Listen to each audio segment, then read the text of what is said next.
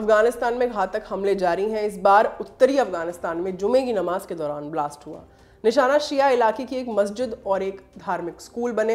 विस्फोट में तैंतीस लोगों के मारे जाने की खबर है, साथ ही तिरतालीस से अधिक लोग घायल हो गए हैं। इस बारे में तालिबान के प्रवक्ता ने जानकारी दी है। प्रवक्ता जबीहुल्ला मुजाहिद ने ट्वीट में बताया कि कुंदुज प्रांत के इमाम साहिब शहर में ये बम विस्फोट हुआ। उन्होंने बताया, इस हमले में मारे गए तैंतीस लोगों में कई बच्चे भी शामिल हैं। वहीं कई छात्रों समेत तिरतालीस लोग घायल भी हुए हैं। हम इस अपराध की कड़ी निंदा करते हैं। और पीड़ितों के प्रति गहरी संवेदना व्यक्त करते हैं। हालाँकि मावलवी सिकंदर मस्जिद पर हुए इस हमले की ज़िम्मेदारी अभी तक किसी भी आतंकी संगठन ने नहीं ली है, जबकि इसके एक दिन पहले दो हमले हुए थे जिसकी ज़िम्मेदारी आतंकी संगठन आइसिस ने ली थी। अंतर्राष्ट्रीय न्यूज़ एजेंसी एएफपी ने घटनास्थल पर मौजूद लोगों के हवाले से बताया कि हमले के बाद का मंजर काफ़ी डरावना था। मस्जिद में जो भी नमाज़ अदा करने पहुँचे थे, वो या तो मर गए या गंभीर रूप से घायल हैं। मीडिया रिपोर्ट्स के मुताबिक कुंदुज पुलिस ने कहा है कि वो जाँच कर रहे हैं कि हमले में किस तरह का विस्फोटक इस्तेमाल किया गया था। अफ़गानिस्तान को पिछले साल तालिबानी लड़ाकों ने अपने कब्जे में लिया था। ऐसा कहा गया कि तालिबान के आने के बाद इस तरह के हमलों में कमी आई। हालाँकि आतंकवादी संगठन आइसिस एक बार फिर से एक्टिव हो गया।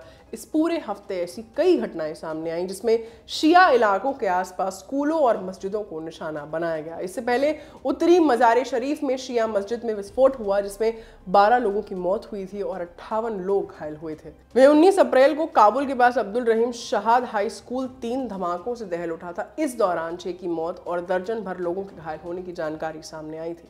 आपको बताते चलें कि तालिबान के अफ़गानिस्तान पर शासन शुरू करने के बाद से 22 अप्रैल को हुआ हमला। अब तक का सबसे घातक हमला है।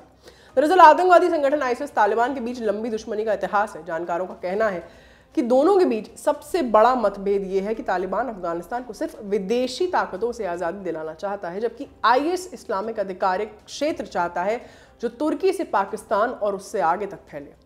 मीडिया रिपोर्ट्स के मुताबिक इससे पहले शुक्रवार को तालिबान प्रशासन ने कहा था कि उसने मजार शरीफ मस्जिद पर हुए हमले के मास्टरमाइंड को गिरफ़्तार कर लिया है। तालिबान पहले भी दावा करता रहा है कि उनकी सेना ने आईएस को हरा दिया, लेकिन विशेषज्ञों का मानना है कि ऐसा नहीं है और आईसिस अभी भी सुरक्षा के लिए एक बड़ा खतरा बना हुआ है। ये खबर आपके लिए लिखी थी हमारी साथी श्वेता ने।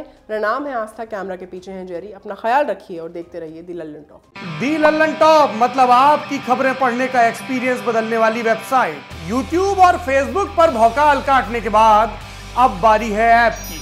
लल्लन टॉप ऐप, जो लॉन्च होते ही कुछ ही घंटों में बन गया था नंबर वन प्ले स्टोर से एंड्रॉयड ऐप इंस्टॉल कीजिए और जुड़े रहिए लल्लन टॉप खबरों से।